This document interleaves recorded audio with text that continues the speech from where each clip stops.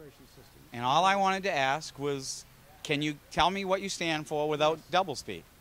Oh, I would hope. I hope so too. The problem with government today, and the reason that nobody has any confidence in in in the state Right. uh, is that they don't know what their tax dollars are buying. There's no there's there's no uh, system by which there, there, we are regularly informed about how valuable or invaluable or unvaluable are the services that are being provided by the by the pu- so.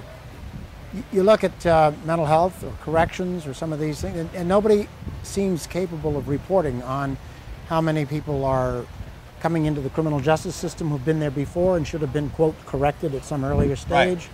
With very little data on uh, things like how useful is our mental health system in actually helping people to get back into, uh, life again. And those, that information exists, but it, it isn't presented in that way. And what happens is we wind up with uh, bureaucrats, people in charge of these systems, coming forward and saying, "Well, I must be important, and I'm, I need money because I am managing this many beds."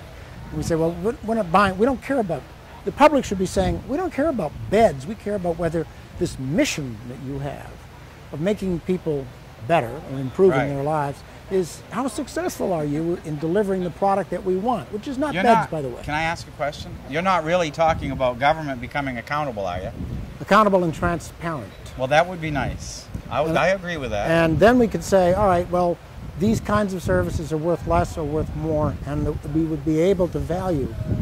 Uh, right now, there's a tendency within the system for the the people that are that are hired to run to to serve their lives as Right. government employees to say, well, I don't want anybody to hold me personally accountable for the job that I'm doing. So I will talk to them about how many people I have working for me.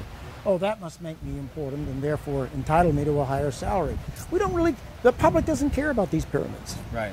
I've known some people who are heads of departments that work for the state of Yep. Maine. And they have a budget. And at the end of the year, when they haven't spent all their money, they go out and they spend Right. it so they can have the budget the next year. Are you talking about making uh, the government run like a business so that they don't do that sort of thing? Yeah.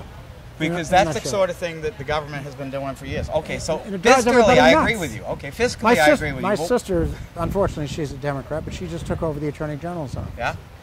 She just laid off three lawyers, and she, and you know what happened? They had a problem, in the sense that nobody had ever done that before and didn't know how. I, I'm sure. So they worked their way through it, and they did it, Yeah. and there was no fault, you know, big. But there were three people. They just didn't need as many lawyers, so she, and everybody is. You know what happened? Yeah. The rest of the department is very excited about being cooperative and helpful and coming forward with new ideas, and everybody wants to prove their value. I like what you're saying. But that's that's not done in state government. No, it's not. You get a job with state government, you're guaranteed a job with state government. Pretty much forever. I know. What about um, social issues? Where do you stand on social issues? Oh, you probably won't care for my views on social issues. well, I, I don't know whether you know what I, my attitude Tell is? me. I think the Republican Party needs to get moving again, and that means it needs to take on an issue, I a series agree. of issues that that are truly important to the management of government, the ones that we've just been talking Right, about. Right, those are important. So long as the party remains divided over abortion, gay marriage, what else? Those two Uh, anyway. Yeah, those are the two big ones. Two of the big Then, ones. Yeah. you know, it's it's it's a fight inside the party as much as anything. I agree. So, I voted. Uh, I've always. I think that abortions ought to be infrequent and rare and discouraged, but on the other hand, I don't think they should be illegal. I think that people that given, I think that women should have a right to choose. I think that's part of my basic conservatism. That the government shouldn't enter into telling people what they can do with their lives any more than is necessary to protect the very legitimate rights of a fetus that's maturing. Well, first of all, that's, what is a fetus?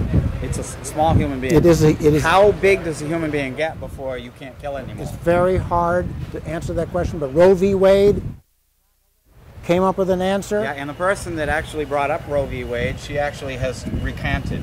So, what I'm saying. Mrs. Mrs. Roe. Yeah, I know. so the point I'm getting at is that how big does a human get being get?